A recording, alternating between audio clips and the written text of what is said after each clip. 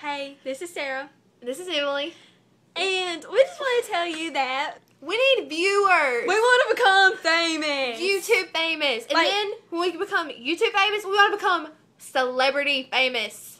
Go see me on TV one day. But I mean, you see people on YouTube all the time. They have like 13 million followers. How? We want to know how. You know how many views we have on our video? Zero. None. None.